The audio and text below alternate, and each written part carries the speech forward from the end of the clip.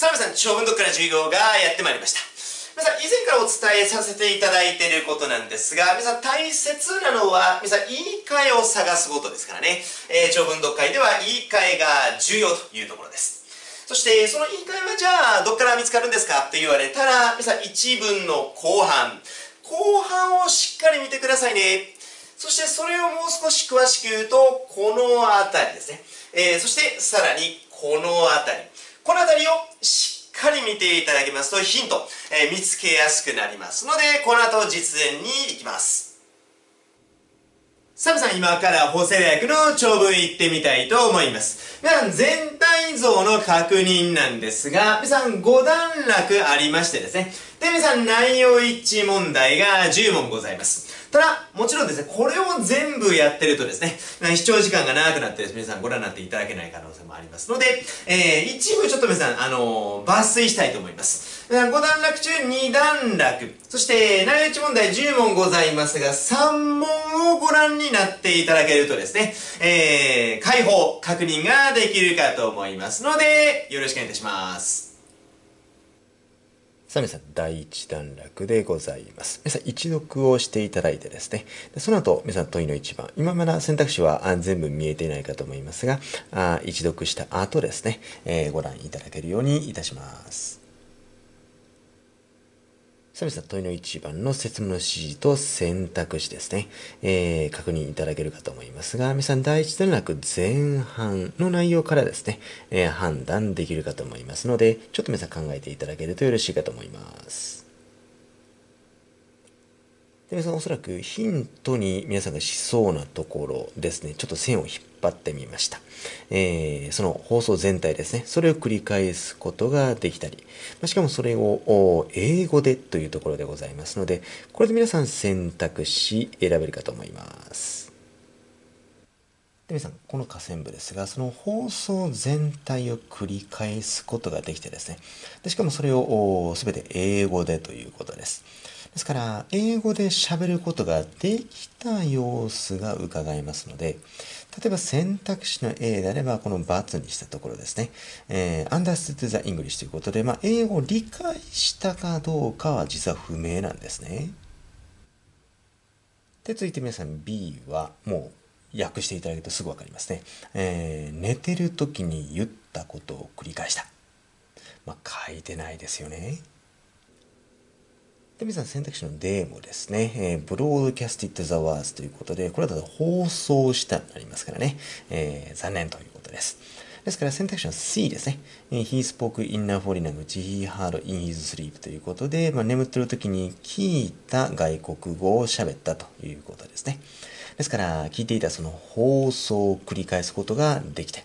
しかも英語で繰り返すことができているわけですから、あ外国語、恐れを喋ったということで問題ないかと思います。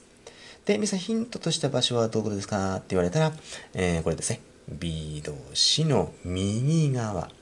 そしてこれも it's、えー、B 動詞の右側ということでもよろしいでしょうし、えー、両者ともに文末でございますので、情報構造バッチリです。さあ皆さん続いて問いの2番でございます。皆さん説明の指示をですね、ご覧いただきますと、皆さんこれ第1段落後半なんですが、この後半からですね、えー、選択肢選べるかと思いますので、えー、一読を考えていただけるとよろしいかと思います。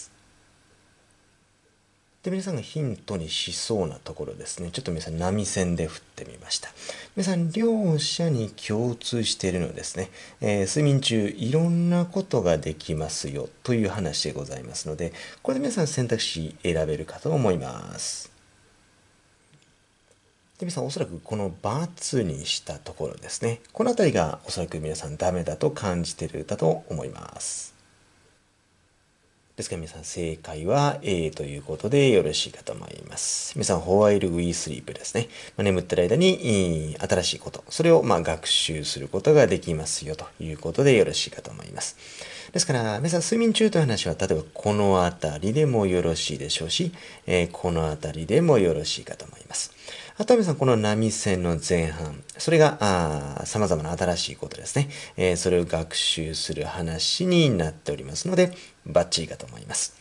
で、皆さん根拠はどこですかって言われたら、まあ、例えば、えー、この辺りであれば、あ助動詞の右側ですよね。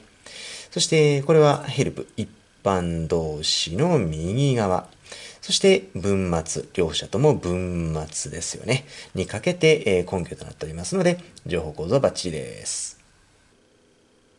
サミさん第2段落でございます。皆さん、問いの3番の説務の指示をお読みいただけるとよくわかるかと思いますが、あこの第2段落で、えー、解ける問題でございますので、皆さんひとまず一読をよろしくお願いいたします。さあ皆さん画面は第2段落中盤から後半にかけてでございます。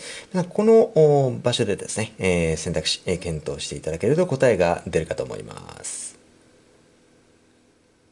で皆さんがヒントにしたんではないかと思うところにちょっと線を引っ張ってみました。えー、もちろんテープを流すわけですが、こういう事実に関するテープを流して、そして皆さん目が覚めた後、その事実に関して質問を投げかけてますよね。これに選択肢、該当するものがあるんではないでしょうか。で皆さんおそらくこの×にしたところですよね。この辺りが本文と合致しないかと思います。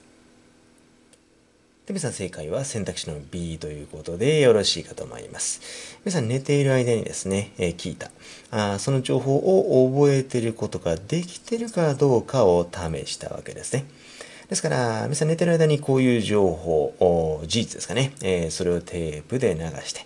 そして、えー、目覚めた後、その事実に関して質問をしておりますので、えー、その情報をちゃんと思い出せるかどうか試したということで問題ないかと思います。バッチリですね。で、根拠はじゃあどこですか？と言われたら、例えばこの辺りですね。リスティング一般動詞の右側ということでもよろしいでしょうし、もしくは B 動詞の右側ですよね。こういった点から情報構造バッチリです。サムさんお疲れ様でございました。さあ、法政大学内容一致問題3題ご紹介いたしましたが、あ残りの問題の解放はですね、もう全く同じでございます。ですから、あもう全然問題ない。えー、ご安心くださいという感じでよろしいかと思います。ただし、えー、法政大学のもちろん過去も皆さん、えー、やってる、まあ、やるかと思いますけども、レベルを考えるとですね、やっぱり試験本番中はかなり余裕を持って、えー、解こうがいいかと思います思いますので、えー、総計レベルでやっぱり練習は必要かなというところでございます。もちろんそれを踏まえながらこのえダッチョスタディですね、えー、動画を撮影してまいりますので、ぜひご活用よろしくお願いいたします。ということで、大丈夫そうですね。では、明日以降もよろしくお願いいたします。